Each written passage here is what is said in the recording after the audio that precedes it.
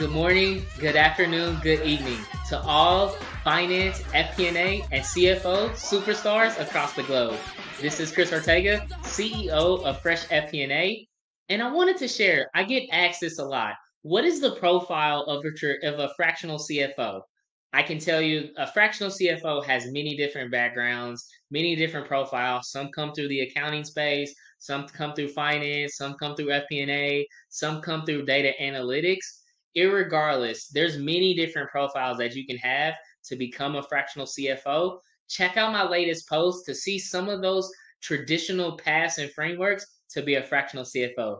Thank you and check out my new post.